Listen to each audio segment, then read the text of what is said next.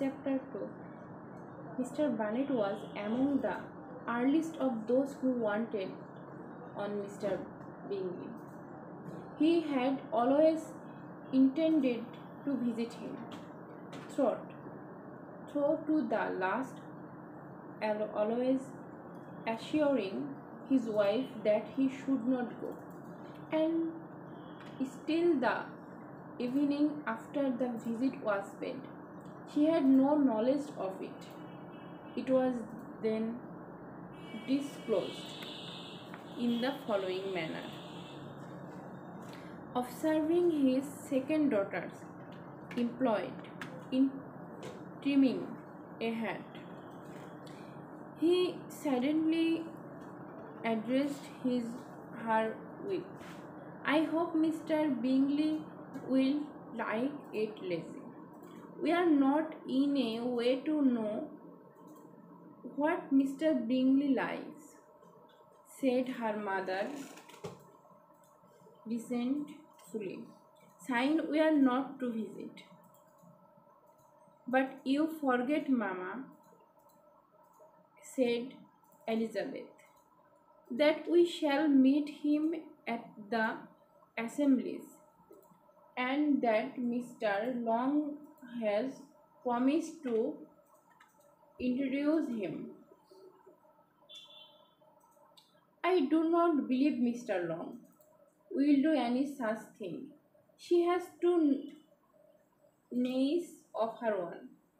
She is a selfish, hypocritical woman, and I have no opinion of her. No more have I, said Mr. Bennet, and I am glad to find that you do not depend on her on her serving you. Mr. Bennet designed not to make any reply, but unable to contain herself, began scolding on of her daughters. Don't keep caught so, Kitty, for having heaven's sake, have a little compassion on my nerves. You treat them to pieces. Kitty has no discretion in her court, said her father. She times them all. I do not court for my own assessment, assessment, replied Kitty fitfully. When is your next bell to be Lizzy? To tomorrow for night.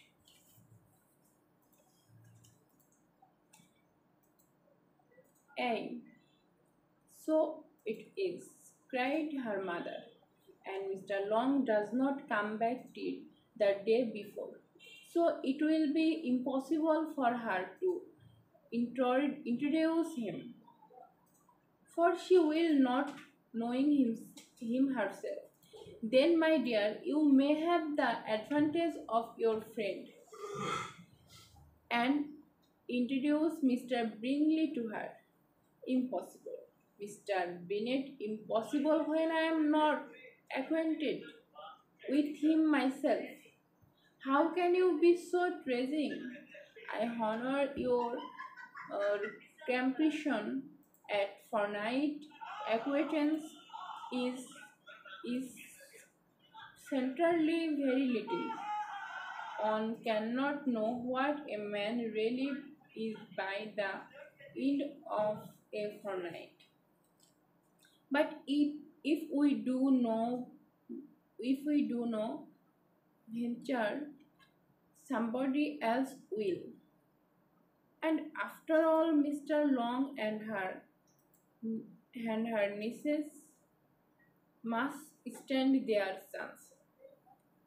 And therefore, as she will think in, in an act of kindness, if you decline the office, I will take in on, on myself. The girls sheared at their father. Mr. Bennet said only, Nonsense, nonsense. What can be the meaning of that in fact exclamation? cried he. Do you consider the forms of in, inter, introduction and the stress that is laid on them as nonsense? I cannot quite agree with you there. What say you, Mary? For you are a young lady of deep reflection, I know, and read great book and make extracts. Mary wished to say something very sensible, but knew not how. While Mary is adjusting her ideas, he continued, Let us return to Mr. Bingley. I am sick of Mr. Bingley, cried his wife. I am sorry to hear that. But why did not you tell me so before? If I had known as much the more this morning, I simply would not have called on him. It is very unlucky, but as I have actually paid on visit, we cannot accept the acquaintance now. The astonishment of the ladies was just what he wished. That of Mr. Bennet purpose surpassing the rest. Thought when the first tumult of joy was over, she began to declare that it was what she had expected all the while. Must be in. Like the river, like